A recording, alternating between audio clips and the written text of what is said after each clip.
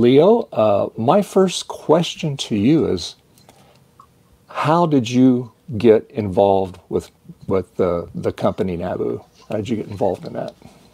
Well, that was that's actually a really interesting story, and I like and I love telling it. The um, so what happened was is that I worked at uh, uh, when I was in high school. I, I, originally worked at Computerland, and the other day I actually noticed that uh, I found this hat when I was 16 years old. I worked at Computerland, and uh, so I got very well versed with uh, Apple. Um, um, they, they, didn't have any Commodore PET store. They were selling mostly Apple, but they were also selling like the the the the Xerox Star, which was a CP/M machine, and uh, and also uh, Ithaca Intersystems. They had a really nice CP/M machine with eight-inch floppies and that kind of stuff. So I got well versed with CP/M. When later on, when I was in high school, when I was 18 years old, uh, we had a computer camp, um, and it was done. The Ottawa Board of Education uh, did a computer camp. It was the very first the, the one that they did, and uh, they asked one of the uh, computer science teachers that was actually the most experienced um, at my high school. I was at Glebe High School in Ottawa, and they we basically designed a computer camp. We had we built a whole pile of lessons in BASIC, and over the summer in 1982, we ran this computer camp over six weeks. We had a great time, um, and and we had we, we learned a heck of a lot. Even the instructors and that kind of stuff. We were we were using Commodore PETs because that's what the Ottawa Board of Education used, uh, and they were networked together with that system called MUPET. I don't know if you're familiar with it, but basically it was a, a networking through the IEEE port, and allowed everybody to share floppies and the printer. Um, and so we we had labs set up with that. We also had like logic boards as well. So we were teaching people like NAND gates and AND gates and OR gates and that kind of stuff. It was very very comprehensive. Uh, but we had these ten basic lessons, and um, at the end of the summer, we got wind that uh, of this thing called Nabu. Now I had actually applied at Nabu like when I was 16 years old when I was working for Computerland to do anything. Um, at the time, they were manufacturing at the 1100s and that kind of stuff, um, and they were just forming at the time. Um, but I didn't actually get a job then. Um, but at the end of the summer, some people from Nabu they ended up uh, showing up, and um, what they did is, is they said, "We want to buy your basic lessons." They were looking for content to put on the Nabu network. At that point, I had no idea what the Nabu network was. It was explained to me that it was a software distribution mechanism that went over the cable. I didn't actually appreciate how how, how genius that was at the moment that they were asking me.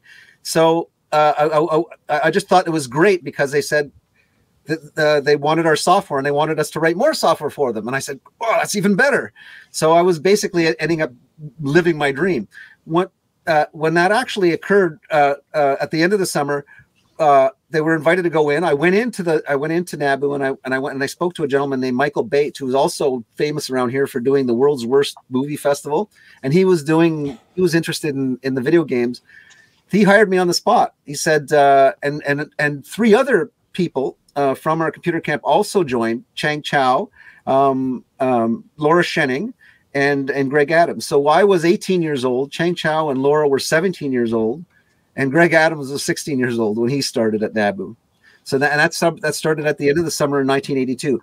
I was just leaving high school. I had just graduated, so I was going to uh, to college in the fall, uh, Algonquin College in Ottawa, uh, and so I started there and that, and that was great. So we started at Nabu, and that's what we did. We we ended up working at the at the, the back of the uh, uh, uh, an old cable office in Ottawa, and uh, we started writing games. I we got paired with um, um, um, other other experienced programmers because we were essentially part time. We were hired part time, knowing full well that we were going to school.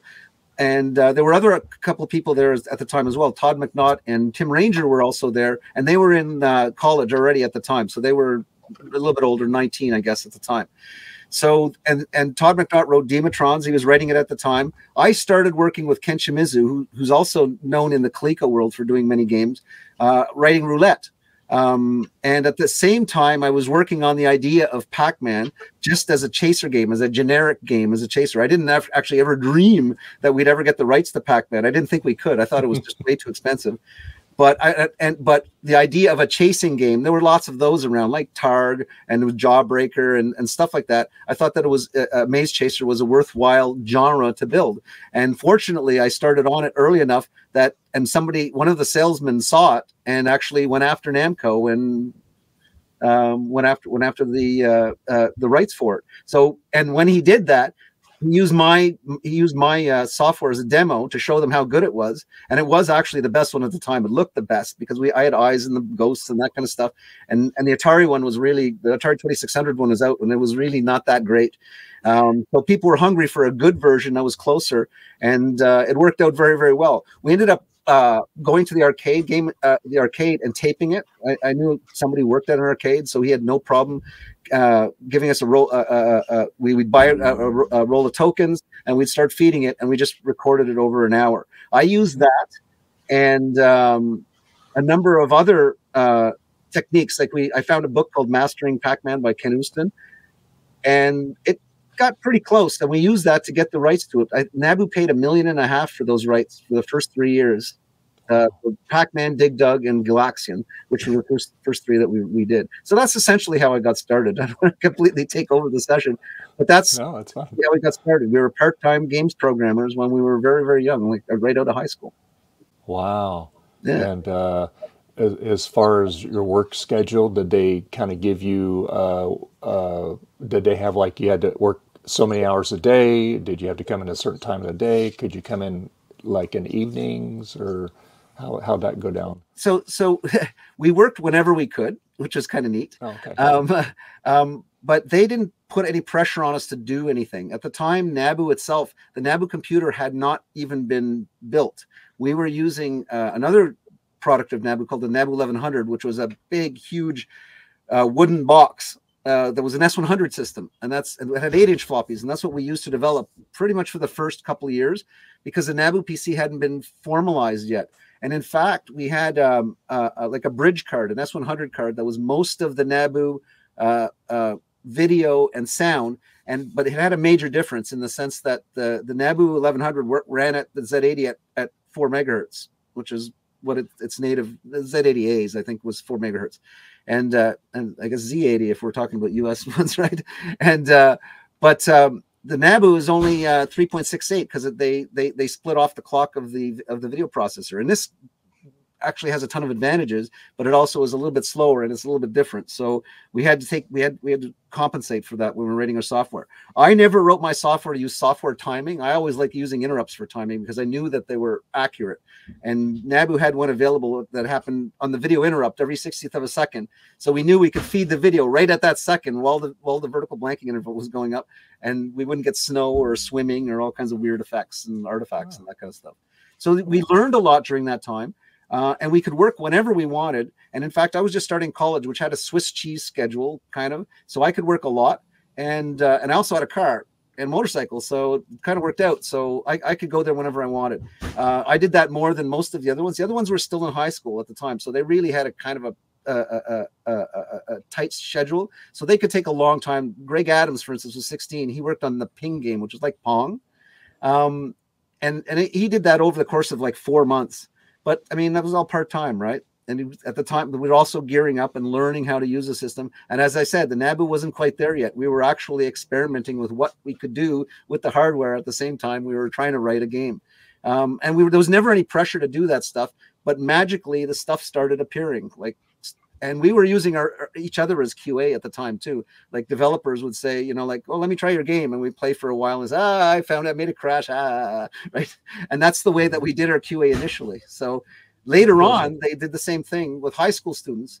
They uh, brought a QA that was all high school students, just like we video game developers, and we had literally fights and stuff like that, like high school level pranks and stuff on each other and, and that kind of stuff because we were almost at war at the time. It was kind of neat, but there was an, it was never any pressure for us to work. We just worked when we wanted to. But in fact, what that ended up with was timesheets that were like 35 hours a week part time, right? It was like because would be you know 12 hours on Saturday, 12 hours on Sunday, and a smattering of stuff during the week, right?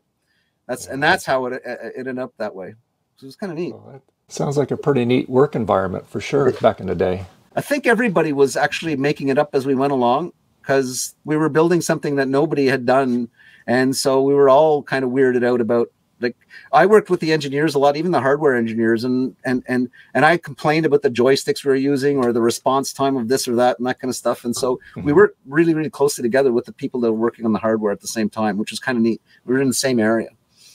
Wow. So Nabu was a big company and had several products. So the NABU PC development was a little bit divorced from the rest of the. There was the NABU 1100, as I said, but there was also an, a 16-bit computer called the NABU 1600. I think DJ has one, um, and the MSUs, the, what we call the mass storage units that we were using, were co-opted to be used as hard drives for the NABU PCs for the developers in the long run when we changed development systems. So it's kind of neat to have to have that thing around. Wow, that's that that is.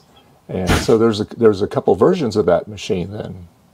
Well, no, there's a Nabu Nabu PC, which is the home unit that we made, and there was a different machine called the Nabu 1100 that was a business machine. As I said, it, it, oh, okay. It, it, was made out of wood. It it smelled like IKEA. Is the, the thing that I always like to say. Santo has one. Santo Noctifera has one. So it's and he might even have one of the ones that I used because there weren't that many. There was like maybe two dozen in total, I think, in uh, of the development machines. So there wasn't that many for them to be around. So the fact that he has one of the, the NABU PC development machines, that's pretty amazing. That because uh, I mean, there's not that many around, right? and uh, so now I'd like to ask uh, DJ. He's been been very quiet there, uh, but anyway. So DJ, how how did you how, how did you get into the computer industry, writing code, and all that stuff? Okay, that's a better question than asking how I got into NABU because that was my dad. I was born. That's how I got into NABU. um, how did I get in computer industry? Well, my my family had a, a huge history in, in computing. Um, so my uncle John and uh, as everyone's heard the story of my uncle John Bobak, my uncle Howard Schurz, and my dad um, Uncle John was roommates with uh, John Kelly, and I got this whole story from my Uncle John. Um, we had lunch with him with uh, with Leo a couple weeks ago here, and talked a lot about it. But the, there, they, my whole family was very into computers, like very into electronics. Um, Czechoslovakian, so there was very logical thinking, right, and logical approach to things. So um, when when Nabu started, I was just born, and it turned into a whole thing for our family. Like everyone in the family was really involved into it, not just in, on on backing it, like our investment wise, but also trying to get involved any way they could. So I was surrounded by computers at a super young age, and my dad was like, "If I can program, you can program." Like when I was like six years old. So I was right, yeah. So um, man, I could tell you stories. I have I have some pretty crazy stories that almost sound unbelievable. But my first computer, I think I was I think I was seven or eight, and my mom would have to tell you the whole story. But for Christmas, I got about 80 gifts, and they're all tiny little boxes. When I opened it up, they were just computer chips inside and sockets. And inside of the final one was a PCB, a blank PCB, and it was an Apple II clone and I still have it. And for the Christmas break, and I again I was seven or eight, right? And I already knew how to solder because I was my dad at this point. Um, so Nabu had failed, and then Apple Canada started. My family was part of Apple Canada. I think um, Leo, do you remember what John said? Was it we had forty nine percent of Apple Canada or something like that? It was some huge amount. Yes, it was. Yeah. Uh, yeah, so my family owned like I think it was like around forty nine percent of Apple Canada, and uh, so I I had seen Wozniak and, and, Jobs when I was when I was quite young at the office there, and it was it was kind of neat. Um, I, at the time, I didn't know, right? It's neat now. At, at the time, I was just a little kid, but um, so Apple was a big deal for our family. So I got this computer, and I had to put it together over the Christmas break. So when I went back to school, and the you know, the teacher would be like, "What'd you do on the Christmas break?" And everyone would get up and talk about it. Remember that back in the day, whenever we would do a, a little talk. I got up and I was like, "I made a computer." Well, this particular time was funny because the teacher actually thought I was fibbing and called my mom and said, Your son is fibbing. He's like coming to school and saying all these crazy things. Like, you should, you know, he's obviously interested in computers. And my mom was like, No, that's what he did. And she's like, What? What? He's eight or whatever it was in grade one or grade two, right? So that is kind of like a little brief story about how weird my family was giving me computer stuff at a super young age. Um, and then my dad took over a video game company called Selectomatic Games. And Selectomatic was a video game company that was involved with the creation of Neo Geo and a few other things. So that um, that was all Northern Ontario, and then got into Manitoba. That's those are Canadian states, by the way, for people watching the states. But um, so then I got really involved in, into just electronics through that, and then I was born just over there because I'm at my cabin right now in the in the city of Thunder Bay, and there wasn't a lot of work for computers. Um, outside of the video game thing that my dad was doing. Our family from Ottawa was there, but I just had an attraction to robotics and machine learning and stuff. And I gotta remember, this is like the 90s, so it wasn't that advanced. But I ended up dropping out of high school, moved to Calgary, worked for a robot company, and then uh, started my career there. And then from there, I worked for multiple companies, including I did some work at NASA, I did some work at uh, Cisco Systems, Symantec, um, all over the place. And then I sold two companies, and then now I'm on my third because apparently I like to torture myself. wow, that's uh, that's impressive. Um, now, now, I met I might might have met DJ way back in the past. That's right. When we now because he he he said he showed up at the Baxter Center. Now, one of the things that I used to do is that uh, I was the friendliest with kids at NABU. So what they would do is, is that when they wanted to have when kids, they would have uh, kids do tours, whether it was from schools or that kind of stuff. They would stop by my desk, and I usually have a big bag of pens, usually another big bag of candies and that kind of stuff. And I would I would talk to them about video games and what I was working on and that kind of stuff. Now he says that he saw he did that and he saw somebody. He doesn't remember it was me specifically, and I don't know clearly I don't remember it was him specifically. But there was a possibility that we crossed paths way back even before we met recently. So that's wow. kind of right. And and funny funny thing about that as well. Leo and I were chatting about what I remember about the building. Um, there, so you walked into the lobby. and I was telling Leo, I said, I remember this. You used to walk in the lobby. It was brown. Everything was brown, right? Because of course, I mean. It was 19, 1984, and um, but what was neat about it that my family would always do to us is there was a, a window and a door that went into a server room. And it was like the server room you picture of the 80s like with the raised floor and the you know the machines in the middle and stuff. And it was freezing cold in there. And as a hmm. kid the parents we they used to open the door and tell us to go in and they'd shut the door and lock us in. Now we would do it every time. We'd fall for it because it was a funny thing to do. But it was like what how did you describe it leo? It was like overly cold or Oh, it, it, was stupid cold. This is what I said. it, it, was it was actually far colder than any server room should be, really. But yeah, yeah. it, was, was in the middle of the cold. building, and the air conditioner was right beside it, so it was like literally like right. The vent was right there. They just sort of cheaped out. Normally, a server room has kind of its own air conditioning. No, no, no. They just put it right beside the building's air conditioning and put a direct vent into that room, and that's the way that worked. So that that's. but that that was in that room that you saw. That was the the the Vax is what we used for doing the that we were writing most of the software for uh, figuring out how to do the cable. That's the, the QPSK stuff with the, the adapter, but also was one of the, at least one of the cells, the Gould SELs was in there too.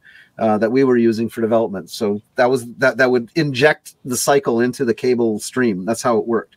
And uh, so so that's what you saw when you were in that room. So it was the the, the Vax and the Gould, um, which was an interesting machine, by the way, just because I'd never seen anyone any mini that worked exactly like that one, and it was reliable as hell, much more than the Vax was. So, just an interesting fact. I don't I don't even seen anybody else talk about them through time either. they used to run twenty four seven and cable head ends and that kind of stuff, and when, when we put them in there, uh, they were good. So so in present day, how did you two meet up? Leo, would you like to tell the story? I'll tell us part of the story anyway. Um, the uh, when when uh, DJ had started uh, making videos with the Nabu, Adrian Black had put his video out. People were buying the Nabu PCs that were on, on eBay because of that video, uh, and DJ had started doing the videos. Now, actually, what happened was is that I had been scouring the internet over and over and over again, and there's evidence of me doing that because, of course, uh, the the the the uh, York University also, I dealt with them in the past where they did. Um, uh, Zbigniew uh, Stachniak basically created one of the first recreations of the Nabu adapter, and it's housed at York University. So I worked with him in like 2009, and that was fine. But I kept on scouring the internet. But he he sort of did it and make made an exhibit at York University, and then everybody else went to sleep, and then everybody about, about Nabu. Um, but so when Adrian Black's uh, did, did, that video, there was a lot of interest in it, and people bought the Nabu PC. So now several hundred people have Nabus, and one of them was DJ. Uh, and of course, he had other ones from that, that he could draw on because he had them in his family. So he started working on the Nabu adapter.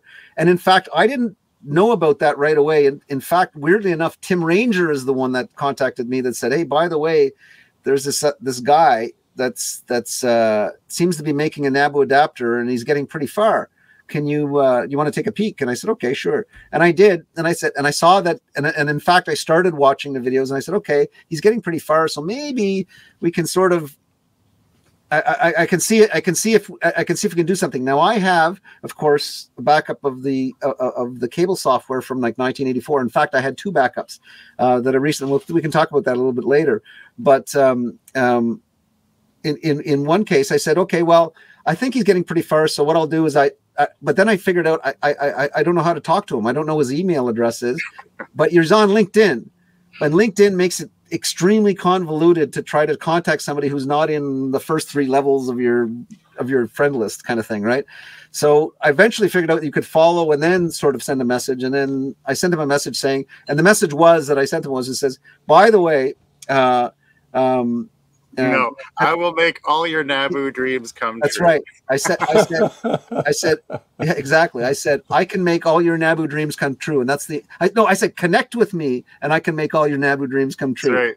And that's yeah. all I said. So you can go ahead, DJ, if you want to continue yeah. on from there. Yeah. So I'm gonna let's let's back up a little bit too, because uh, so my part of the story about how I, this Nabu thing came about was I've been holding on to Nabu stuff forever. Like I brought a few things out here to show you. This is my dad's share certificate.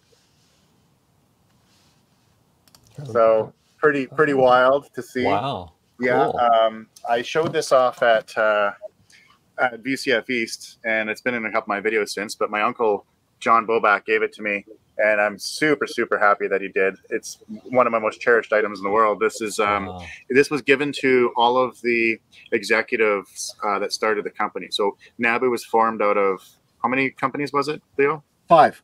Five so companies. Was, was Andicom was one, which was the NAB 1100, where the NAB 1100 they came from. The Bruce Instruments, which is where the the the, the cable knowledge came from. Yeah. Um, Doma Software. Uh, who else? Who else? Who else? Computer, who else? Computer Innovations. Computer Innovations. I'm trying that to remember. There's one more. Uncle, yeah.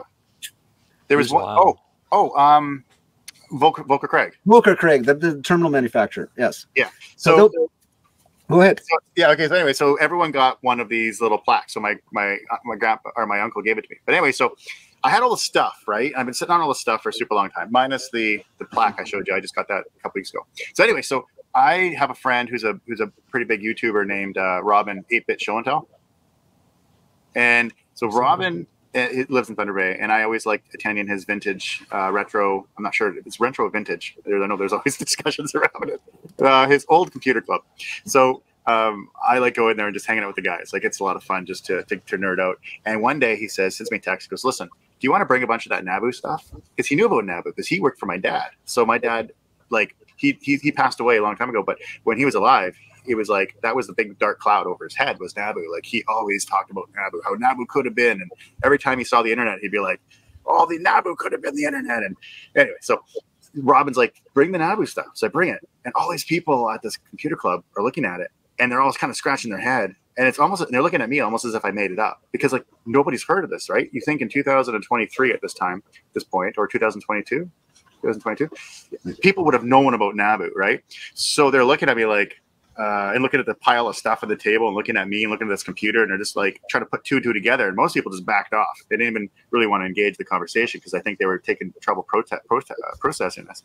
So I go back to Calgary. I leave my cabin here and go back to Calgary. This is in like end of November. Two weeks later, I get a text message from Robin and he's like, eBay now, Nabu with a link. And sure enough, there's all these Nabus on on there. Like just super coincidental that I just did this presentation thing and all of a sudden Nabu shows up. So I was like, how did I say it? The VCF East. Everyone kind of quoted me.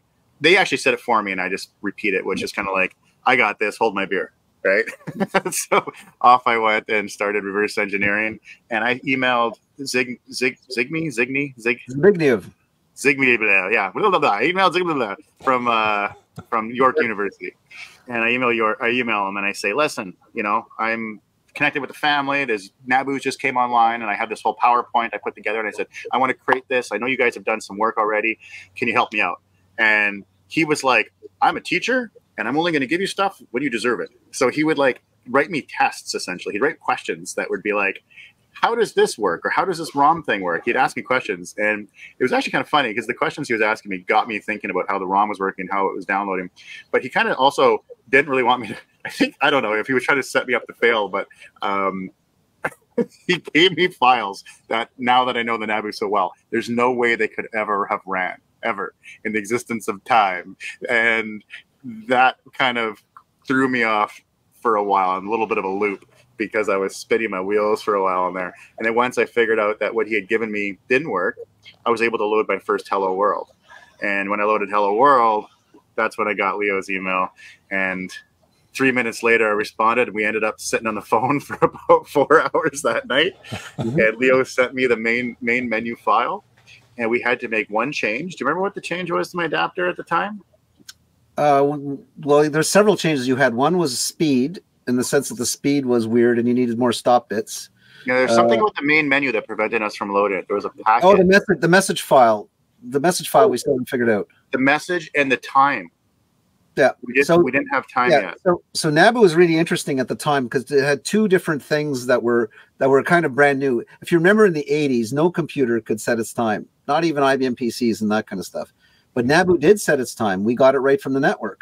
So every now, every now, you could request the time packet, and it would tell you what the time was. And in fact, that went in the menu and and figured into other things that we were doing. Like uh, we had a uh, a stock ticker thing that that and trend analysis. So when it, it knew that new stuff was there, it could give it to you, and it could say that this is different from the old stuff because it knew the time. You never had to set the clock, just like a cell phone, which was really really really nice feature. But the other thing that we did is each adapter through a PAL is individually addressable.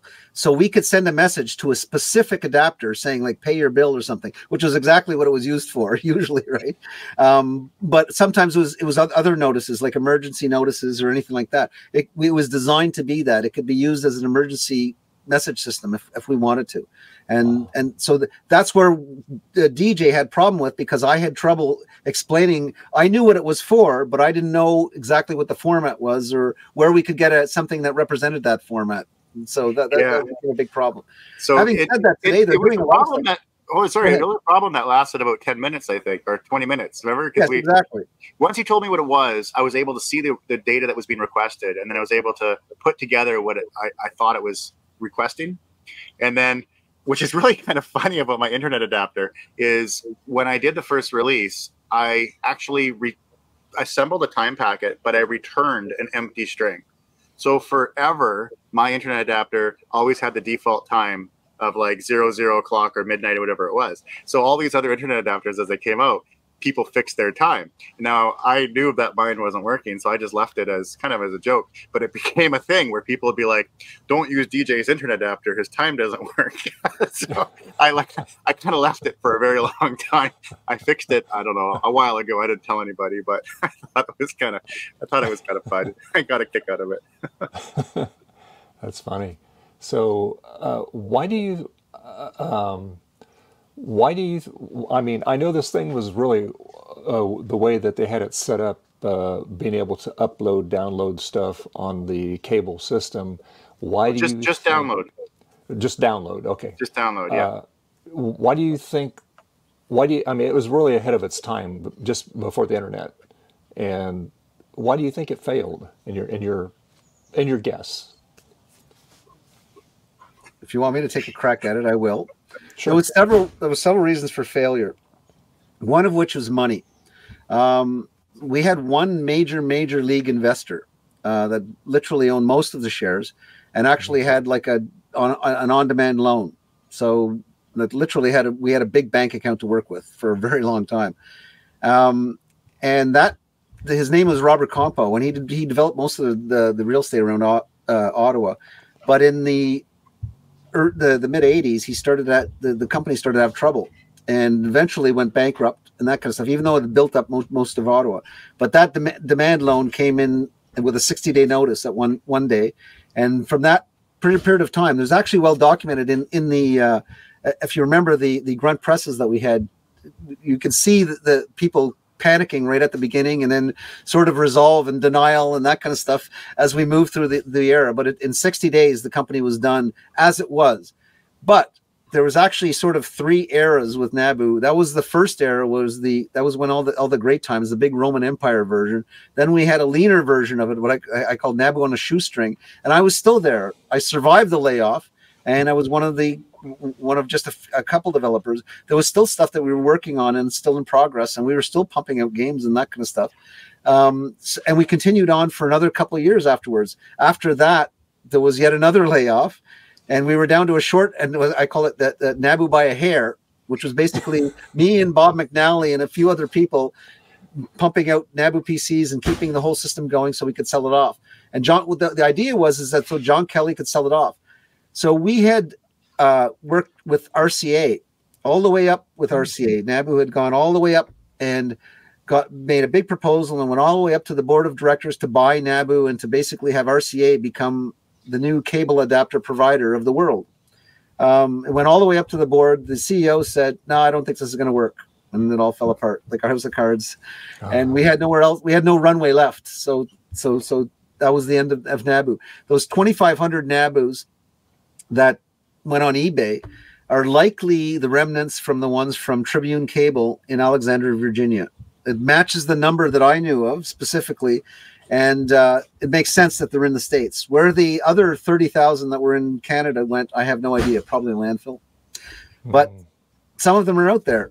You know, so and and there's a small number of Japanese ones too. I, I remember we had a bunch of Japanese cases that my dad used to build uh, project boxes out of.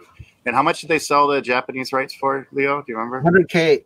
Hundred thousand dollars. Hundred thousand Canadian, which at the time was well, it's about it was about par at the time. So roughly 100k US too.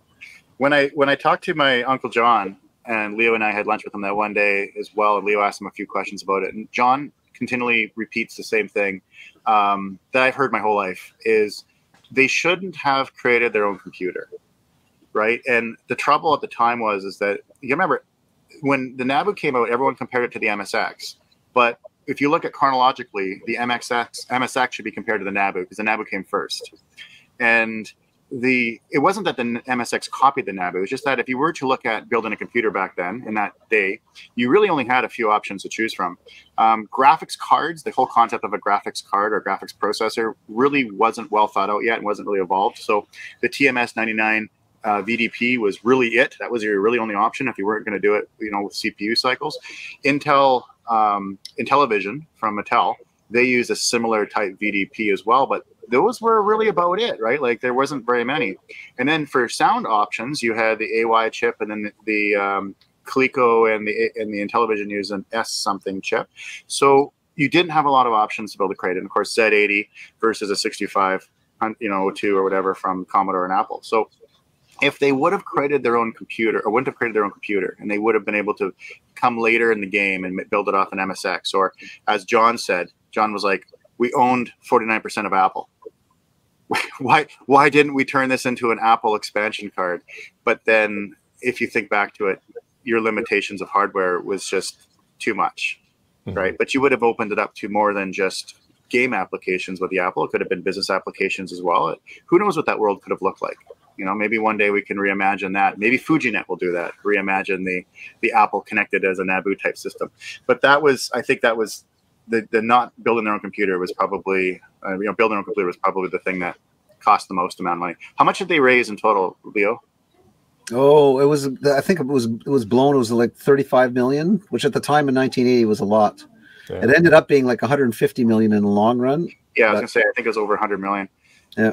Wow. Yeah, that's crazy. And um, I don't know. Uh, Leo doesn't really talk about a lot of his collection sometimes, but he has an original MSX prototype that is a breadboard screwed to a piece of wood that they sent him from Japan. Yeah. Okay. Le- legitimately, this thing is like a hundred thousand dollar piece of history sitting in his basement. It's wow. no case, no plastic, right? It's just a it's a it's a breadboard with uh, with screws holding it all together. Power supply with a big transformer and everything. Because at the time, Nabu was trying to get well, Nabu, you can talk about this part, Leo. Yeah. Getting other computers. Yeah. So we if you notice a lot of the nabu titles are msx games and that's because we we we got in fairly quickly with Kay Nishi, my boss john short and and chris wallace went to japan and met with him and so on and bill gates for that matter because bill gates was involved with msx ms the ms part is microsoft ascii microsoft was doing it. the ascii part was Kei who's really well is, is really famous and kind of a prodigy in in the world and sort of designed the whole thing and pushed the whole idea of msx more or less himself and um uh, but he came to Nabu several times, and, and I met him. He was, as I said, he was kind of a rock star, but he loved working with us, and he and and uh, he gave he gave us that prototype version. I had just happened to have it at home when Nabu folded, so it was uh, uh, and because it had the Pac-Man cartridge that MSX made, which I considered a, a substandard version of Pac-Man at the time because it was I think I thought mine was better and so on. So I thought that I was I was and and I know and, and, I know we could have been the one that the, the Nabu Pac-Man could have been the MSX Pac-Man. I'm just not exactly sure how the licensing would have worked for that. But um, we had it we, we we we had it set up so that um, when we had had Nabu going and Nabu was doing its thing that we we weren't really sure what to do next. We got stuck when when when it when all folded, right? It was like what are we going to do with all this stuff and stuff like that? And in fact, I ended up fleeing the scene. I I, I spent a, I spent a lot of time with John Kelly because I was one of, as I said, I was in everybody's shoestring. We were having a great time, but we knew that the end was coming, and I was getting sort of more and more depressed over the summer and that kind of stuff. Um, trying trying to deal with the fact that we were we, we we were going nowhere. If I if I could go back in time and because we had we had a lot of our own titles, I would have basically started licensing our own titles onto the MSX network and make some money revenue for Nabu. Because if you look at the whole catalog, it's the, the we have a whole pile of, of titles that could have easily been on the MSX network and that kind of stuff. 30 or 40 titles easily, and a lot of educational stuff, which MSX didn't do at all. so that would, and it would have been great. But I wanted to touch on a point that DJ brought up with um, the adapters. By the time that I left Nabu, on my desk, I had four adapters. I had a Nabu adapter, I had an IBM PC adapter, which actually could use the regular adapter because really it was just an RS422 card and IBM PC. I had a Commodore 64 adapter. That's the one. right?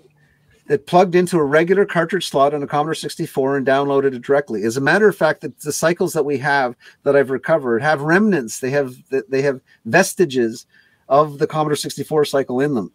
Um, I haven't been able to recreate that stuff. Other people are actually trying to do that, which would be interesting.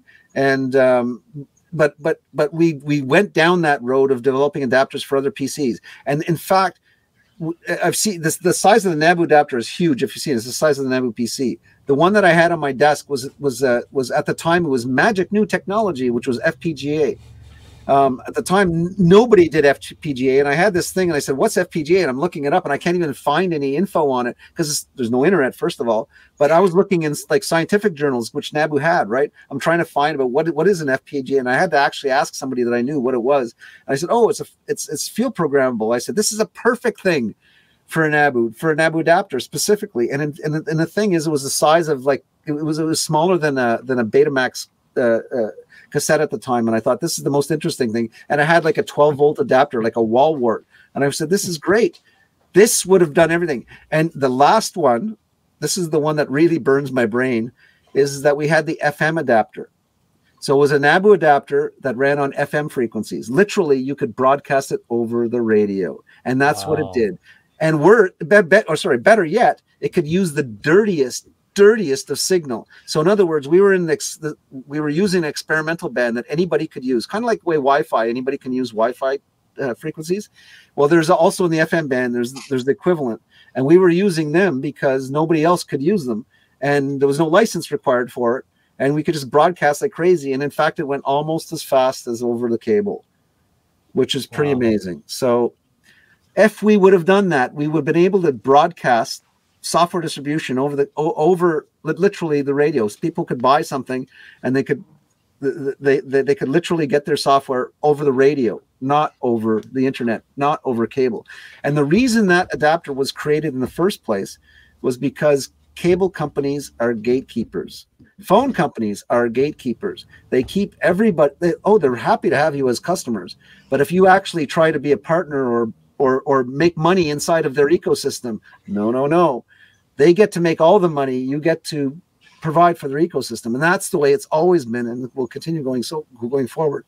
But for for our for for us, doing the FM adapter meant that we could literally free ourselves of that. We could use any stuff, unlicensable bands, to distribute software that's pretty good. That's a pretty good place to be. Unfortunately, it never came to be because that was the last couple months that I was at Nabu when I had that adapter in my hands. So, and there, there was also the uh, satellite broadcast as well.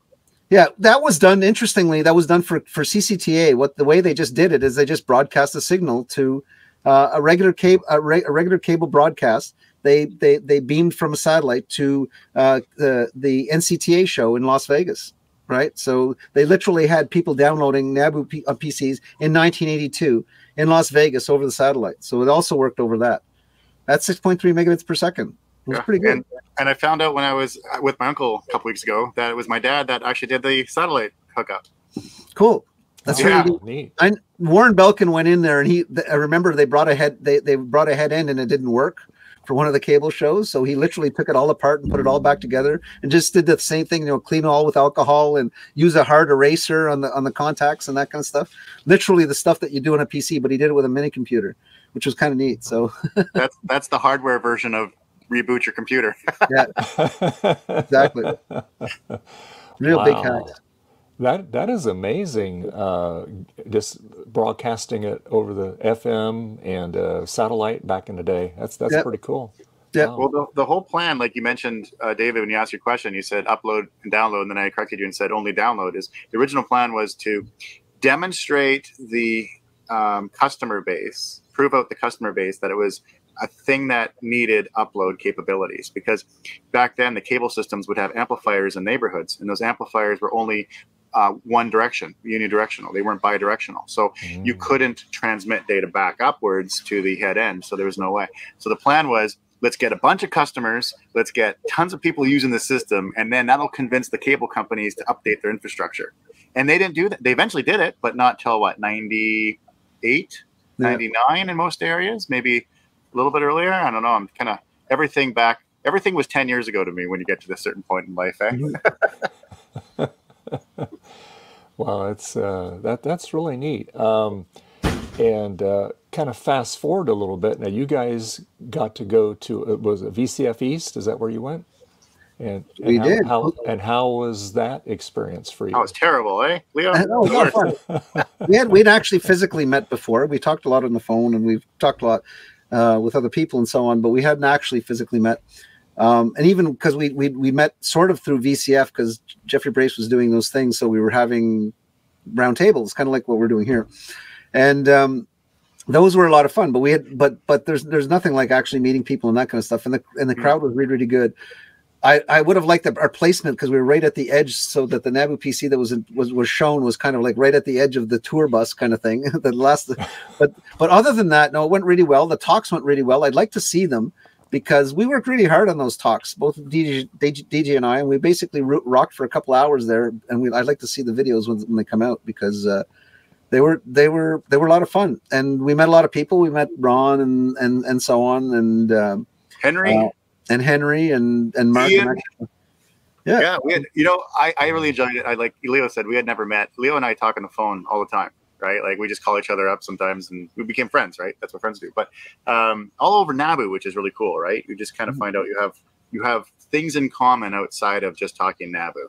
So when we met, I don't know. I felt like he invited me to his home. I walked in and sat down in his basement and hung out and played with Nabus, and it felt like we were had always hung out, right? It's mm-hmm. kind of cool. But we went to VCF East.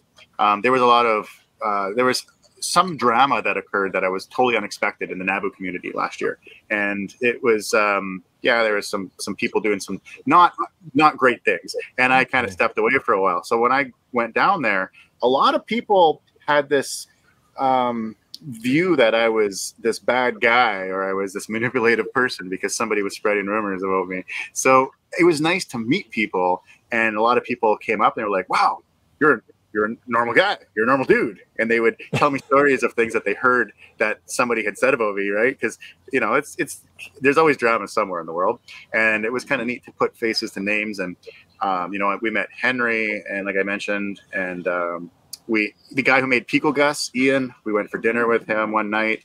We met a lot of other YouTubers. Ron came up to me, and uh, we had a good conversation as well. I think everyone I met there turned out to be pretty cool people yeah, and I like that people came up and asked me and said, "Why did you encrypt the files at the beginning?" or "Why did you do this?" or "Why did you do this?" And we had legitimate answers, and they were all kind of like, "Oh, okay, never, I never thought of that." yeah, it was, it was, it was. What I'm trying to say is, it was really nice to meet people in person, and yeah, fix a lot of that. Well, I think uh, going to that event too probably really opened the doors even more for people learning about it. I mean, I, I like a lot of people, I didn't even know this thing existed a couple years ago, and uh, I was one of those people that got I dealt I dealt directly with that guy that was selling them. I didn't go through eBay. I went right through him, and uh, took a, I got it like in a week, and uh, got the box over there on the shelf wrapped up, and it's, Right it's uh, I think it's a low serial number too. Um, Oh, they're all low serial numbers. There's only thirty thousand. they're all low. Yeah. Out of the lot that was sold there, I think the the guy had two or three or four. I, I don't know how many he had. Do you, I- do you remember my Le- my serial number, Leo? Was it 327? something like that. I I have my, I- yeah, I have pretty low serial numbers on the my, my units, and the funny part is, is that mine are all kind of different. They have different ROMs, they have different things in them, and Oh. they're actually completely different designs. So I actually have a weird chronology of Nabu's going on in mine because every time anybody sees anyone, they say, "Where where did you? Where's that connector? What's that for?" And I said, "I have no idea. I'm just I- I'm not sure if it's a prototype or it's vestige or what's going on with that." we got Yeah. one from my uncle, and we just laughed because we brought it to Leo's house and tried to turn it on, and again, a weird ROM. Yeah, Yeah, and a brand new another ROM we have to we have to get yes. That's my part number there. Four two forty one. But that's the one that says it's an adapter, but it's actually a PC, Yeah. right? Yeah, so this one's funny because we Leo pointed this out, which is actually kind of humorous. So check this out. It says it's a an adapter, okay? yeah. But look at the very bottom down here. I don't know if you can read it. Probably not. It says over here. It says "Made in Canada." So this is the Canadian version, and of course, leave it to the Canadian version to screw up and put the wrong sticker on the wrong. this is on a computer. This is on a PC, not an adapter. oh well, you know. Yeah. uh, But those are the endearing screw ups of a company trying to pump out a ton of machines at once, right? And in fact, at the time, uh, the the Nabu PCs were were manufactured by uh, at the time was a very little known company called GoldStar, which eventually turned out to be LG. So. Mm-hmm. and what was funny is, is when I heard it, they they said they considered it a pre production run, the thirty thousand that they built. Right? So it's like, oh my god, you know.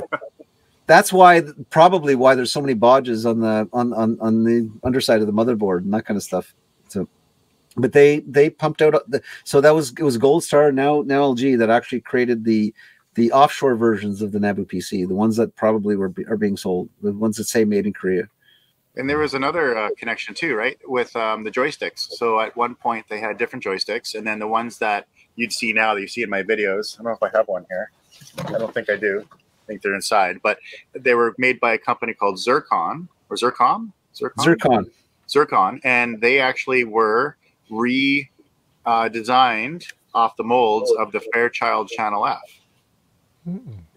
Yeah. So when Fairchild Channel F, I guess the company that was making their controllers ended up working with Nabu and made their controllers. Oh, Leo's gonna go grab one. i'm gonna see if i can find one Yeah, I I know I don't I just don't know where mine are. I know that they're I have I don't have in this box here. But I can show you some Nabu stuff while we wait. This is kind of neat. This was my dad's um, exhibitor badge for Cable 83 for Oh, Nabu. wow. Yeah, Wow. thought that was cool. And then I always think of do- using this one day. Let me see if I can find it. I also have the. Uh, let's see if I can find it here. Oh, here it is. This is cool. It's a luggage. You used to put these in your luggage back in the day. Oh wow, look at that. Yeah, yeah. Cool. And it says in the back, cable, cable services company. Oh.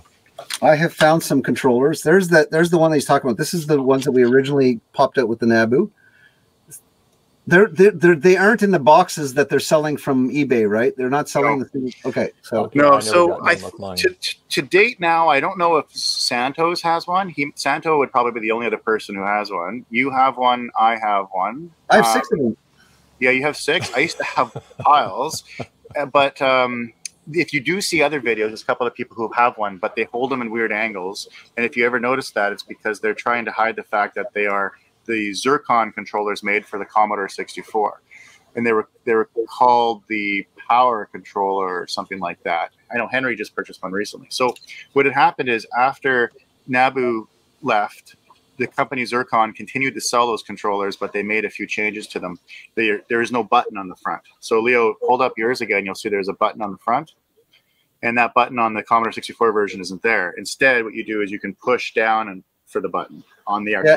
And you can see the mold was used because the hole in the bottom is still there on the Fairchild. It came out the bottom, That's whereas right. this thing comes out sort of the side of the bottom.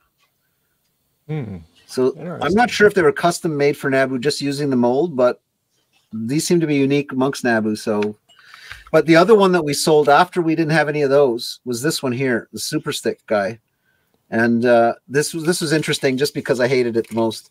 When you have the fire button on top, you end up moving the joystick while you're trying to fire. So, so it's not that great. But this we gave out later on to uh, to people um, when, when we ran out of the other ones. But I kind of like the Zircons. They were good and they lasted over time too. They're they're easy to play to do with one thumb kind of stuff. So I, mm-hmm. I kind of like them. They're better than the you know the Atari joysticks because they sort of dig in your hand being square and stuff like that. So yeah, yeah. I, I have uh, it, it, It's similar to the that red one that you have, but it's a newer version, and there's a switch on it. You can flip it for. Uh, one side works for Nabu, and I think the other side works for I want to say Atari. Um, but but well, anyway, they should yeah. be identical, but they're, they're apparently there is a difference. I'm not sure what it is. DJ might know. Um, but I haven't like, looked into it yet, but you were right because Henry bought a Zircon, like one of the newer controllers, and he can't get it working with the Nabu. So there's some electrical difference that we don't know about, but that's right. Actually, when I was at VCF, I saw they had the arcade versions, you know, with the big ball on top and that kind of stuff. And I was thinking of getting one of those, but they were rather they were rather pricey there. So maybe I figure I can get it online cheaper. So, yeah. so these no, are kind of neat too. These are um, um, forms that they would have filled out for order sheets for doing work internally at Nabu. Yeah. Oh, okay. Cool. And what's kind of neat about it is I noticed the number down there, 1372. So as they would have to go to customers, um, you have all the customer information in here about what what needed to get done. So if they were doing an installation or or a warranty work or something, so that just shows you that you know how little the computers actually got used. The the numbers for the entire their entire wow, printout wow. only got up to thirteen hundred.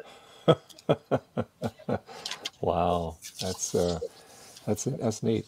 Um, and uh, I know uh, Leo that you, uh, in your wisdom, you have a lot of the stuff that you worked on as far as software and stuff like that. Uh, big collection of old Nabu stuff that you developed and stuff. Yeah, I have a lot of my software. I put some of it on GitHub, so I got I, I recovered a, a pile of source. I actually have a little bit more source to recover. Some of it's just a bit more difficult. Plus, it's just uh, stuff like working floppies, so it's not complete. Where's Nabu baseball? Yeah, manager's baseball. baseball. Managers Baseball is, I just want to make a quick quick comment about that. Managers Baseball is the most complicated game that we ever did on Nabu. Um, what it was was uh, uh, literally a rotisserie baseball being done in on an 8-bit computer. And what that meant was is that it was the biggest game that we had that used the most amount of segments on the Nabu. In Nabu, they, they, they have these things called segments, which were more or less up to 64K of, of, of data that, that we could draw upon. So what we did is we put all the data for all the major league teams and all their players, American League for 1984 in Managers Baseball, and you could pick from them and make your own team, and then you can have them play against each other. And it would play against each other, and did a really nice job. It was a lot of fun, and it was one of the most interesting games I ever worked on because it made really good use of the Nabu's ability to download stuff whenever wherever it could. So you also, in order to play this game, you had to be a serious baseball enthusiast because you also had to get a floppy drive to store your your team. And in most cases you wanted to get a printer to print off the rosters and that kind of stuff. So it, was, it made it, it, it really made use of the system. Um, I've recovered pieces of it, but not everything about it, and that's that's that's the most annoying thing because having one of the best games we ever did, and one that I worked on personally uh, with with a team of people, which was kind of interesting. Most of the different games at NABU, we worked on one or two people maybe, not you, not a ton of people.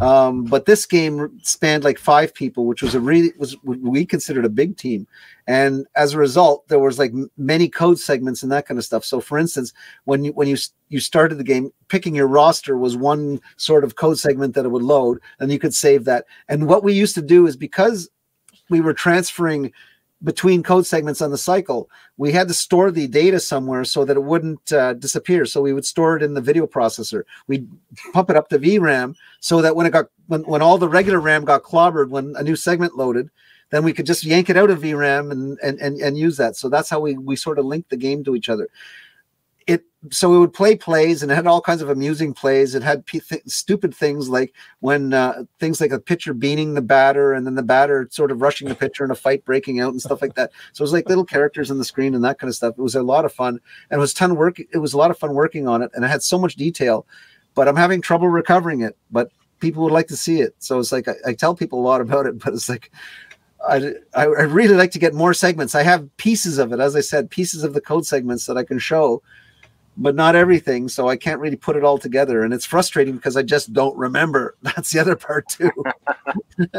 we found a lot of good stuff. Uh, Leo and I went through, he had a floppy, di- a floppy container full of discs that he shows on some of his videos. So we plugged a floppy drive into one of my Nabus and we were, we, we went through almost all of them, eh, Leo? Yeah. yeah. Yeah, and we went through a ton of. We found a ton of net managers baseball. And who was it? Somebody used to have to enter in all of the plays from the previous game that day, like real games, yeah. so that that information was in there for people who, who are playing their fantasy baseball. Yeah. So what we did is these things called uh, they were called uh, dot sit files in CP/M, but they were situation files in matters of baseball. So what you would do is make a new play. Like every time we saw a new play, we would put a, a probability and that kind of stuff uh, associated with it. Now there was a whole pile of the stack plays, but there was other ones that we were adding to. We were actually customizing the game as was as it was already released. We were changing it changing the rules and that kind of stuff to make it interesting. Because remember, if you're playing the same, if you pick the same plays and that kind of stuff, the likelihood that they encounter will be, besides some dice rolling, will be likely close to the same. Baseball is very statistical like that, right? But we wanted to throw some flair into it, so we kept on updating it. What would what would happen and that kind of stuff.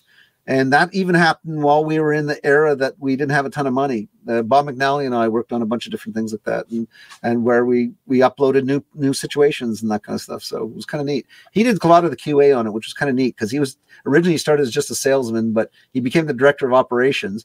But I used to say, here, no, no, no, take a look at this and QA this for me for a while. I'm just about to put it up in the cycle. I got no QA department, so you can you might as well take a peek at it. oh, you'll have to well, maybe something magical will happen and you'll you'll find the missing links. So yep. There you go. Yep. but I have other stuff that I haven't got to yet. I just have to get around to it. I've been busy and so on, and of course, other these other places like uh, we, uh, we're going to other VCFs, but virtually. Like um, uh, I'm planning to do a quick talk at VCF Southwest remotely um, and also uh, Vancouver. I'm not sure if they managed to contact you, DJ, to, to, to get you into the Vancouver. Oh, panel. yeah, I, I, did. I think I responded. I have responded to you. I haven't responded to them. It was in my spam folder for some reason. Yep. But thanks for reminding me. Yeah, I should respond to that. And that's like what, the end of June or middle yeah, of June? 23rd of June. But that will be Vancouver. So, but that's a panel. So it's not the, another like the same presentation. It's more yeah, like we can do it remote. That'll be good because I don't I don't leave the beach in the summertime. Uh, totally understand. Yes. Yeah. yeah. Or me personally, I, am This will be my first VCF uh, Midwest. I'm going to Midwest. Uh, it's be at its new location, so I'm looking forward to that. That's in September. Starts September 6th. So that'll be. we fun. we wanted to go to VCF Midwest. Did you still want to do that, DJ? Do you want me to contact those guys? You know, you should. You should, because I know that like Robin always heads down there. I think it'd be fun to to go and meet okay, more people and tell the story. Yeah, uh, I think uh, it, I, I, would like to tell the story uh, from our perspective as much as we can too, with a positive um, framing around it, because I think a lot of the times, like I mentioned earlier, there was a little bit of drama that occurred last year. There was a lot of high emotions. A lot of people were excited about things, and I think mm-hmm. kind of things went off the rails. So a lot of people in the in the retro community looked at Nabu going, "Ugh, you know, it's immature, it's new, it's got too much drama. And I, I wanna I wanna show people that you know we have a lot of development, a lot of technology being developed. A lot of I've been doing a lot of work. Um, GTAM's been doing a lot of work. The Bomb's been doing a lot of work. Bry John's been doing a lot of work. Like there's been a lot of development. Production Dave, um, intangibles. Like if I'm forgetting anybody, but and that's, I'm naming out people in our Discord who are doing a ton of development and pushing Nabu to some serious limits. Yeah, the current version of Make Magazine has a Brian Johnson article on Nabu. Like hacking a Nabu, a, a vintage Nabu computer. Yeah, looking forward to that when that comes I'm out. trying to find the the, the, the, the copy. I mean, I know it's out, but it's difficult to find a print magazine these days. I don't know if it's out. Is it out? Because I know that Brian out, got it. it's out. It's out. If you get if you if you try to subscribe to them digitally, you can get it. But the problem is that, um, like as Canadians, we don't get the print version. I want to get a copy of the print version. You know, Yeah, it would be nice to have. So I got to find some smoke shop or that kind of stuff that still sells magazines. You know, Uh, I'm sure you'll find one. Uh, Mm. I'm sure some people's got them. But yeah. Um, and uh, speaking about also uh, all these new things that are just coming out for this uh, Nabu, it's just it, it's, it's mind blowing the stuff that people have come up with, uh, and uh, with uh, Nabu Doom, I believe how you say it. Nadoom, Nadoom. uh, Nadoom, and, and, you're, and Nadoom. you, I saw you have a vi- uh, getting video on it off of the camera, yeah, yeah. and, and then you can run it headless uh, via some other things. So that, I mean, it's just, and then people are are coming up with different uh, some add-on cards for it. I know Rudy Retro Intel, he he did a very nice diagnostic on the Nabu. yeah, I got a copy of it. Yeah, and that, that was excellent. Uh, Rudy's he's done the diagnostic card. He's also done a, a really good document on hardware documentation. Um, John did the MAME emulator, and as well recently created something called the Lib MSX, which is a um, so one of the most powerful things about the Nabu is that there is no BIOS, right? Like yeah, that uh, Yeah. I was surprised by that. Yeah. Yeah, and well, the reason for it is because the Nabu loads its its BDOS or its BIOS over the cable, and that BIOS is not static into ROM, which means that it can get updated as needed. So it's not it's not if there's a bug or if there's new features, it can just get updated. So various programs that Nabu created will use different versions of their iOS or XiOS. So iOS is the name is what not iPhone iOS. It's called iOS before iPhone, and that's their um, operating system that Nabu uses. It's the BIOS. And then if you load modules into it, those are called XiOS, so extended iOS. So if you needed to load a module for floppy drive access, that would be loaded in. So that was why there's no really BIOS in the Nabu. And because of that, people might think it, it's it's not great because there's no BIOS, but it's amazing because you can emulate any Z80 CPU with similar hardware. The Coleco, the MSX, doesn't matter because what you can do is you can load in a version of the BIOS into any memory address that it needs to go. So if Coleco's sits in a low memory address, you can throw it in there. If, if uh, you know higher me- memory address for MSX, you can throw it in there. So what the first thing that um, John had done is he created this MSX emulator for the BIOS, and then you can take programs from MSX that use the BIOS, and they will just instantly run on the Nabu.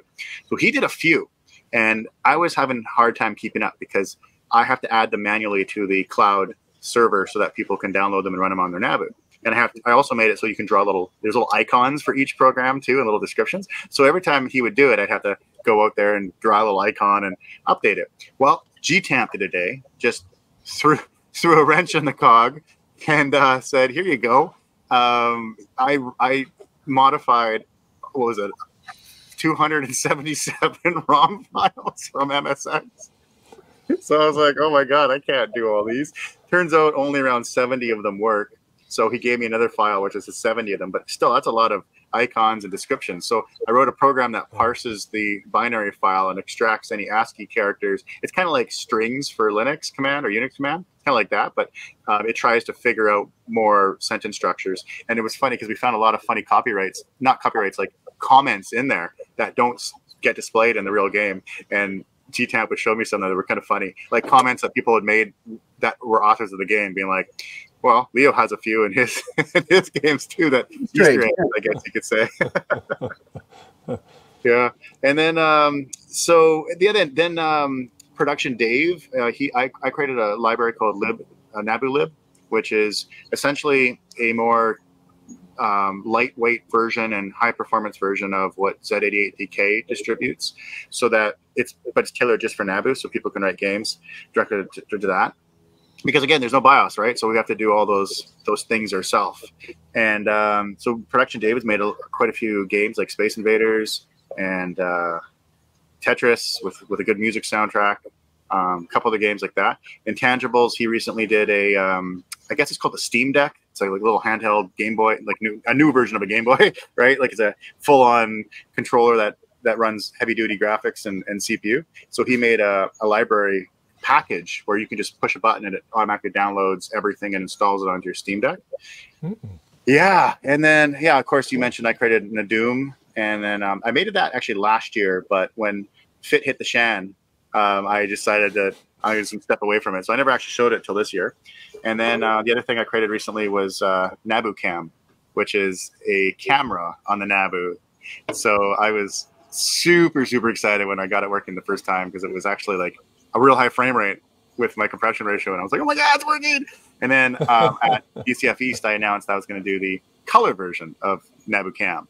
And well, hold my beer and I did it. So that was my what was it two weeks ago? I think I released that, and that's been getting a lot of uh, a lot of attention. People have been making YouTube videos and stuff of cartoons, and um, cartoons look really good on the Nabu. Oh, and then I did the MP3 streaming too, so people listen to internet radio on the Nabu. that was kind of fun. That's cool. Yeah, that's yeah, really useless stuff, but hey, just for fun. yeah, no, like I said, it, it's just like I guess pretty much uh, you're only limited really by your imagination. I mean, because there's so much. Uh, this uh, well, as you know, a lot of these older machines uh, they were never designed to do what they what the things that we have now, mm-hmm. and uh, you can get them on Wi-Fi. Uh, you know, not for 1984. And, well, I've been really enjoying it because yeah. I think back then people looked at the Nabu only like you were developing a computer. It wasn't just Nabu; it was Commodore 64 or anything. You developed with what you knew was possible, right? Like your imagination was more limited than today, and and now with what you expect from an iPhone or you expect from a wristwatch, um, we're trying to do in Z80s, right? And you're also trying to see that in Commodore 64. Like I recently, I used to love demos on PCs. I recently got, recently got into watching demos on C64 and some of them are blowing my mind. And you know, I don't think I think if you showed that to somebody in 1984, their mind would be ultimately blown, right? Like it's just nobody would have thought of something like that. Yeah. And yeah, I I love it. I, am really enjoying getting involved in this community. It's um it's not something I've always been interested in computers and always had a collection of them, but I never never knew there was a community around it. I mean, all my friends are we fish and we watch sports and play hockey and drink beer and I mean, it's my life's a totally different world. And so then I got involved into uh, this retro world. A lot of my friends are kind of like, they don't get it. They call me Mr. Roboto. And, and I tell you, I, I enjoy it so much. Um, I know I turned our Discord into a uh, hockey pool conversation. So you know, some people are upset at me for that. Uh, it's all good. Uh, but yeah, uh, I'm enjoying it too. I've been sort of like uh, this is my first experience with the retro community and that kind of stuff. So was, in some cases, I'm taken aback. yeah. But but you know, uh, but the weird part is, is that I just have I just pull stuff out of my basement and I go, hey, have anybody seen one of these before? And it's like, wow, this is. Uh, I, I, in many cases, I have a lot of unique stuff, and I still have a lot of software to do out uh, to to bring out, and uh, and I actually have other software that's not even Nabu related of games that I worked on after Nabu that I'd like to recover as well. Um, um, and uh, DJ looks like he wants to get involved with that one, so we'll see what happens. Yes, yes, um, yes. I'm excited about that one. Is that our secret right now? We'll announce it later. Well, no, no. it's pretty cool. Yeah. Yeah. Yeah, I, I, I've I've watched both of your videos, and uh, I and I remember uh, Leo. I was watching you. I think it was your first or second video where you're bringing up all your some of your Nabu stuff, and it had like uh, it hadn't seen the light of day for many years. Uh, you can you could count the cobwebs on it. You know, it's rusty Nabus. well, one one uh, uh, uh, uh, one guy that it was work there was a there was a a student at I work at Ericsson, and there was there was a a intern working there, and he saw that he was interested in the videos, and he saw that I was working right there. So I said, "Here, take the Nabu PC, go nuts." But just so that you know, it looks like it's full of mouse shit. You know, so you gotta, you might have to, you might have to put on a like like like an N95 mask before you deal with it, kind of stuff, right? but he cleaned it up for me very nicely, and in fact, it's the reference unit that I use when I'm demonstrating because it's such nice looking units now, right? Uh, um, because uh, you know, I I have nine Nabu PCs and like five keyboards, and and some of the keys are are not so good. So I I would like to get them all kind of working, but mostly I'd like to get them out there so that other people can that can play with them and that kind of stuff. For, mm-hmm. for I consider them research machines and so on. So uh, it would be nice to have them people play them. And I've had my granddaughters play with them, and they like them and that kind of stuff. But they only like them so far because, of course, Roblox is more fun. But we're gonna put Roblox in the Nabu. That'll be the next That'll thing. Funny, yes. well, well, I, uh, Leo, I liked how you were showing uh, how you had it set up uh, as far as like back in the day when you were programming. They're like, all right, so this one is the uh, the uh, I guess the uh, one that you the machine that you use to do all the programming in it, mm-hmm. and then you take and you offload it and you put it on the other one for like the consumer one to, to mm-hmm. test it to see how it plays and stuff. And I just thought that was very interesting. I, yep. I always wondered always wondered how that worked. So yeah, it was nice that we uh, ate our own dog food for throughout the entire thing. Whether we were using Nabu 1100s at the beginning or Nabu PCs when we were finally developing, um, we were all using the same stuff, and so we got to gripe about it and we got to figure it out and fix them ourselves in many cases. Um, so that was kind of neat. And I'm pretty certain there's other, like in Ottawa anyway, there's probably other people that have them sitting on some shelf in a basement, right? That they, they haven't pulled out. When the cable system failed, as I said, there were at, there was at least eight thousand out that I knew of, right, and wow. might have been higher depending on like I. So that means that there was a bunch more that are that are sitting out there, maybe thrown out by now, but mm-hmm. possibly still usable. Well, the nice thing is, is that they're nice and simple and they're easy to fix. They're kind of they're easy to kind of to get going, really, mm-hmm. right? They use, in, in, for the most part, off the shelf parts, and and and in, in some cases, like uh, um, like uh, Grant uh, Shannon goes by Klyball. He basically reverse engineered the floppy card, so it's available now, so that people can buy the floppy card if they want. Um, they just have to source the chips themselves. In many cases, that old floppy controller is something very hard to get. I've, I've, I've been told, but they, have been doing that, and people are still working on other stuff. They still want to get a hard drive going and that kind of stuff based on what I, this the stuff that I had going from years ago, and that's mm-hmm. interesting to see. I'd like I'd like to see that pop out again there's stuff that I have. There's one thing that I'm working on now. I'm I'm trying. Was uh, if you notice the the applications like the Informer, there was a thing called PCL that we used, which is Page Control Language, which is something that was like it was one of the first markup languages. I think it's it would be nice to sort of recover it, just to show how we did markup language before HTML showed up right? And it was the idea was to make applications that were teletext type applications that, that were info based applications, some graphics, but mostly text that people could page through and that kind of stuff. So there's a lot of those out there that uh, those and those things I'm trying to recover so that I can show the process from end to end um, uh, where where we developed it, how how we developed it too. So it would be neat to get those guys out there and those are the, those are in those floppies. So there'll be with managers baseball more stuff to find, more stuff to sort of sift through and see if I can. You know, some of the stuff is corrupt, right? That's that's sure. become in in in in one case, for instance, uh, we had one corrupt file for Miner 2049er source code, um, and I was working with LeBomb to try to get it Scott Scott LeBombard, and um, he um, he, he basically ended up looking at the binary and recreated the source from the binary so it could become part of the source so that we could put something that was a compilable source. So it's kind of nice. So oh. we got that all working. And uh, so P- if people take, for instance, the stuff that I put up on GitHub and they can recompile it for the Nabu, it'll work. And if they want to change it, it'll work. If they want to make a Ms. Pac-Man game out of my Pac-Man game, it'll work.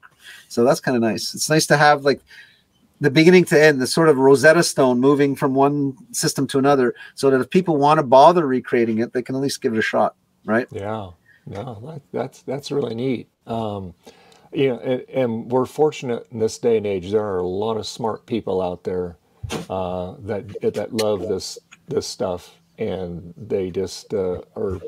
It just amazes me, and and that's why I like doing uh, my my Sunday live streams because I have people that join me over from over the planet, and which is nice. Uh, and you know, of course, as you know, the time differences is a bit of a struggle on that. but uh, just some of this stuff that they come up with just absolutely blows me away. And of course, um, you know, we have 3D printing now, and we're able to make parts for things that, that you can't uh, unobtainium anymore, which is great. Mm-hmm. So yeah well, what you're just mentioning about them creating people creating new stuff. Last night, I was watching YouTube and I came across a video that blew my mind. Have you seen? I can't remember the terminology, but essentially they're using buffer overflows inside of game cartridges on Nintendo to reprogram it to make the game into so you can turn um, Mario Brothers into Flappy Birds. So there's certain there's certain actions. Yeah, if if anyone watching, you guys want to check it out.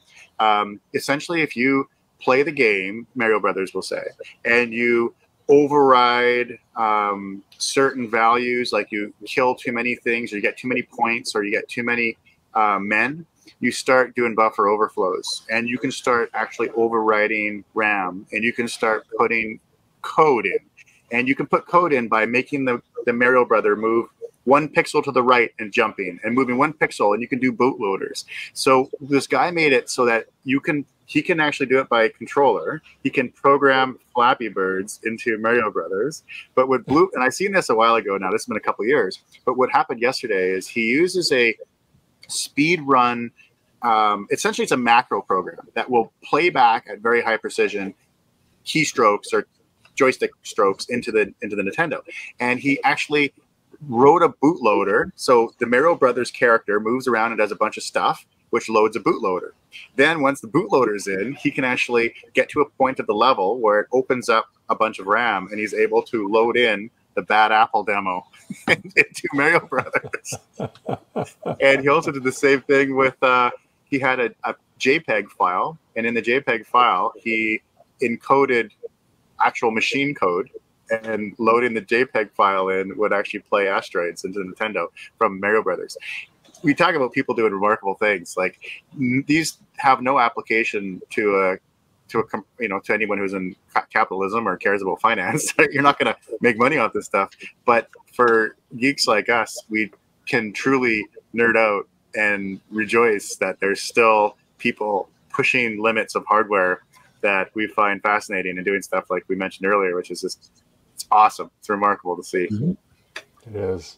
It, it is. And the the thing with like what we do is we try to re-resurrect these old machines and we try to keep them out of the landfills um, because uh, I know like some of the older uh, like Macs, um, it's nice to give them to people like kids. Then they play games. They go, "These are the games that we had," and they and they like it uh, because it's like, "Wow, this is really cool," you know. And this is how we had to get the software on it. We had to put a floppy on there. That's how we got the programs. And and again, nowadays, you know, everything we take everything for granted. You know, we download everything. Everything's on Wi-Fi, 5G, whatever, and you you can download apps. You can send them to people. You can uh, airdrop everything and that kind of stuff but back in the day, uh, you had to you had to have the physical media to move it around. You mm-hmm. know, so, and, and, and you still uh, do, and that's the scariest part. I think that um, on a more serious note, in this conversation is my biggest concern about the direction that humanity is taking is more people well, Leo explained at the beginning of this interview that he was involved in computer courses and he was teaching people kids and gates and basic and all these type of things. Kids are going through their entire school career and never learning how a CPU works or how basic language works or turtle graphics or what a floppy disk is. And what they're not realizing is all the technology they're used to to TikTok and talk to their friends and everything requires that type of understanding if you want to get a career in this place, right? So mm-hmm. the people who are creating CPUs today and the people who are creating technology today are the same people who are making technology 30 or 40 years ago. When they retire, we're going to be in a really strange place in humanity because there's not going to be a lot of understanding on how to a fix it and how to advance it because most kids aren't learning the skill sets necessary. That's why I think people like yourself, Dave, who mentioned kids, you know, putting kids in front of your Apple computer and other people in the retro space. Like I know Henry was talking about how his kid and a few others like Mark were talking about how their kids are so interested in Atari and things like that. We need this vintage computing and retro computing community. We need it because we are sharing that information to kids who hopefully will fall in love with it and they'll take it and they'll want to push it into their career and they want to do something with it. Otherwise, I don't know who's going to fix the next iPhone, who's going to fix the next computer if no one knows how to do it anymore. Yeah, no, it's it, and that's that's why we do it. I mean, it, it's nice, uh, and you know, and it, and it's not just the vintage uh, vintage uh, computer stuff and or technology. I mean, it's it's it's a lot of things. Um, I'll I'll, I'll uh, put this out there. Like, uh, okay, so like when I was a kid, uh, this is kind of getting off topic, but you know, we had model trains. Okay, and of course, we got older. We we uh, could afford the things that maybe our parents threw away when we were younger, and and so uh, and they're they're pretty high tech, but again, uh, you see kind of a shift in the market because a lot of the people that enjoy this, they are they're not around anymore, and and so now you have all this younger group growing up. So what a lot of times what they're trying to do, like uh, there's a big place out in New York that's a huge train place. Uh, I forget the name offhand, but they off they they do a lot of amazing stuff, uh, and they educate uh, kids and they try to get young kids involved in this so that that way they can learn and enjoy it and stuff. And if they see the older stuff, they have a more appreciation for it. Um, like like my daughter, I'll use her for an example. We used to do a lot of yard sales and estate sales and stuff like that. So she's familiar with a lot of these things. Um, like she learned how to read an analog clock. Okay, how many kids these days can read an old cuckoo clock, right? The Roman numerals and stuff like that. Not very many, probably. Uh, so you know, she uh, was exposed. She know knew what old computers were, new computers, um, just all the the weird stuff that we used to get and come in contact with, Coca-Cola stuff. Yeah, I mean, just all kinds of stuff, antiques. But uh again, a lot of these younger kids, the the things that they collect might be the, the, the year that they were born. So say if they're born in the 90s, that's that's going to be the stuff they're going to gravitate to. Um, but but yeah, it's just it, it, it's it's true for a lot of things, not only for what we do here, but uh, it's just just kind of using that analogy on it. The, the that's well said, and I think it resonated with me when you started talking about the model trains because I know Leo was in the model train. Him and Lisa were in there at the VCF they're loving it. And I, I guess in, in your analogy and what I'm trying to say is throughout generations, specific, it doesn't matter if it's about technology or just survival back in the days when before, you know, we had any industrial revolution, but throughout throughout all of mankind's evolution technologically we've been building off the shoulders of giants but we've never asked ourselves what happens when the last generation of giants die mm. pass on and don't pass on that knowledge right? And i think that's where we're at as a point is the, the, the giants that we built our most recent technology on are starting to retire and pass and there's nobody who's taking the place of those giants. So how do you create sure everyone's a c sharp programmer but who created the c sharp interpreter right? Everyone's a everyone's loving linux or unix or Windows or any operating systems, but who created the kernels? Who wrote who wrote the assembler? Who wrote the drivers? Right? And that's the question that I think we all have to ask ourselves in the education system, specifically in North America. I think we have a very strong education system here. We need to be able to do something about that soon, because mm-hmm. we might be at the mercy to many other countries for uh, technological uh, advancements. Yeah, for sure. All right. Well, I want to thank you guys for joining me today. It was a lot of fun. I, I, I, I, I, have been trying to pin you two down for a long time. and I know you two are very busy. I appreciate uh, each of you. Um, and like I said, put your guys' uh, YouTube channels in there if that's all right with you. That's good that way They can go to your channels and follow what you're doing. And uh, yeah.